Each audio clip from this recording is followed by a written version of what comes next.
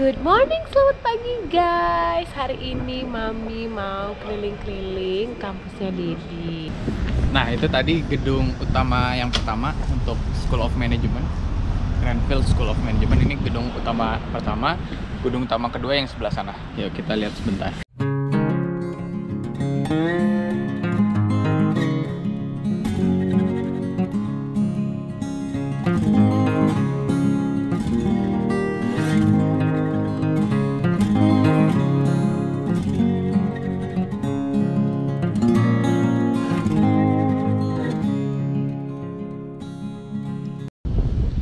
gedung utama kedua eh, buat anak-anak SOM School of Management. Untuk jurusan strategic marketing mostly kelasnya ada di sini. Kalau tadi yang eh, finance management kan di gedung yang satunya. Jadi masuk ke gedung-gedung ruangan-ruangan itu harus pakai akses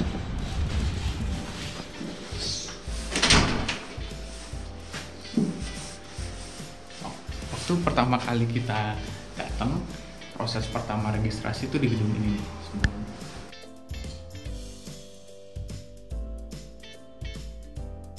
juga ada mesin kopi dan kalau siang di sini ada cafe one two two. Jadi ada makanan yang bisa dibeli. Hanya siang tapi pagi nggak ada malam juga nggak ada. Kalau kita lagi ada kelas besar kelas gabungan biasanya di lecture room nomor 29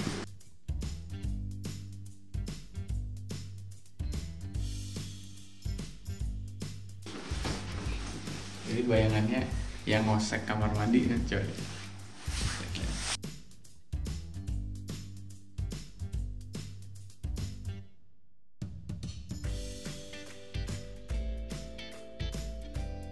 Nah, gedung SOM ini baik yang yang ini sama yang sebelah sana itu sangat dekat dengan eh, akomodasi. Kalau teman-teman nanti ada yang tinggal di Mitchell House atau di Stringfellow itu deket banget karena Mitchell House Mitchell Hall itu itu tuh.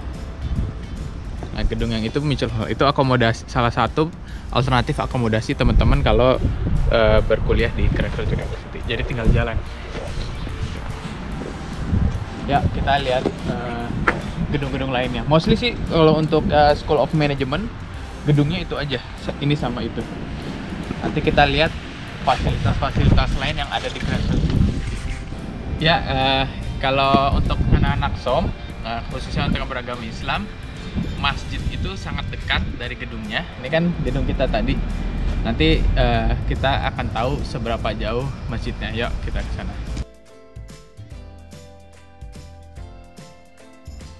Nah, ini masjidnya. Ini masjid kampus eh, buka 24 jam eh, asal ID kita didaftarkan. Jadi bisa mengakses eh, apa namanya? Pintunya. Ini untuk pintu masuk untuk laki-laki, untuk perempuan eh, harus lewat sebelah, lewat pintu sebelah. Ya, jadi dekat sekali. Kita lihat lagi eh, fasilitas yang lain.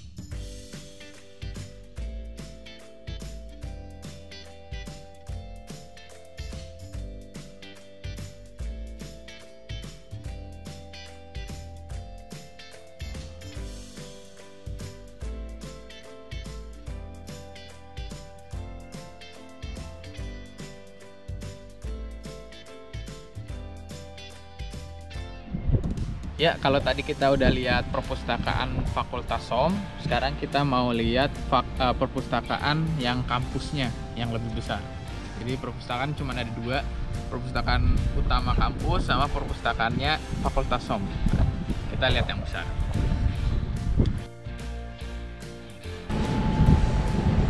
Ya ini perpustakaannya.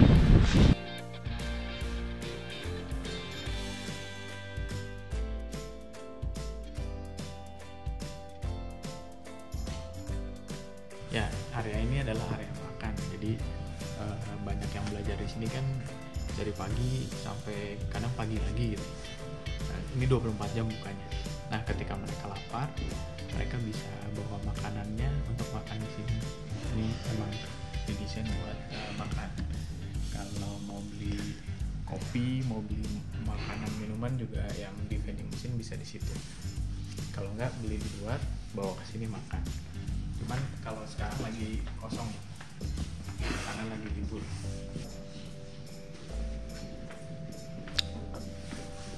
Di lantai bawah ini selain tempat makan juga ada ruang komputer. Ruang komputer sama toilet. Toilet satu-satunya ada di sini. Nah ini ruang komputer. Jadi kita bisa pakai komputer yang mana pun login pakai user kita udah langsung bisa ngakses semuanya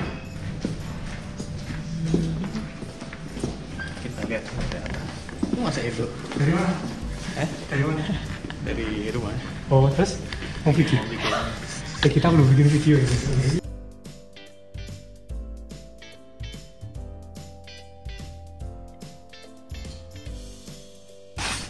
strukturnya kayak gini jadi banyak buku-buku rak-rak buku.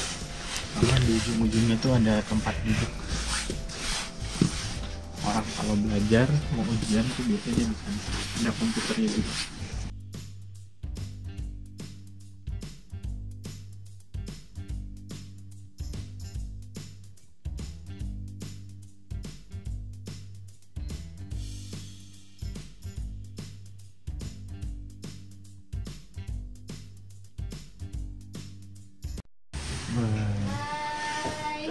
Jadi ini salah satu fasilitas di perpustakaannya ruangan buat belajar kelompok atau rapat gitu.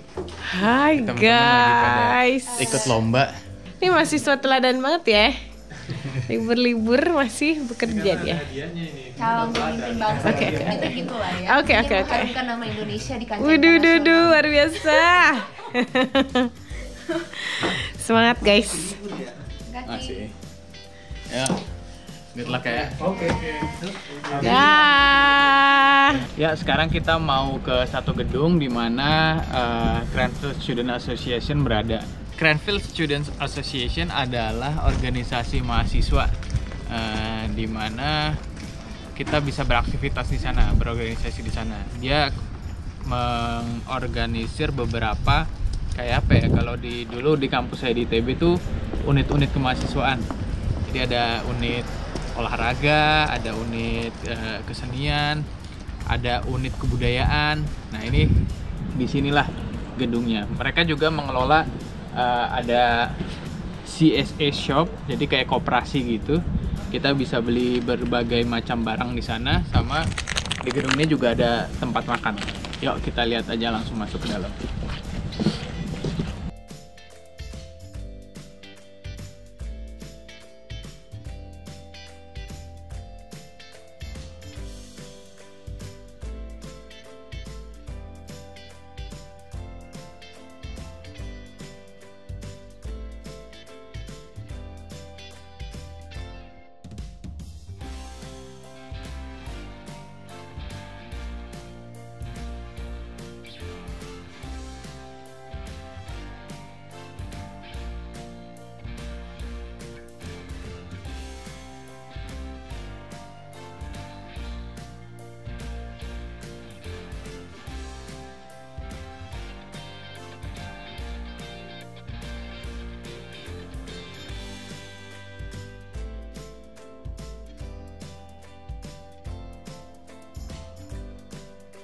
Oke, ya tadi adalah beberapa tempat yang ada di Cranfield University yang biasanya saya datangi ketika aktivitas perkuliahan di Cranfield University. Begitu mau. Oke guys, jadi sekarang kita tahu bapaknya kuliahnya itu di mana. Terus ada apa aja di kampusnya itu tadi kan udah dilihat ya kan guys videonya tadi. Oke. Sekarang kita sudahi dulu tur kampus bapaknya hari ini. Nanti eh, kita ada bikin vlog lagi mengenai tempat-tempat unik yang ada di kampus bapaknya ya. Oke guys, tunggu ya vlog kita berikutnya.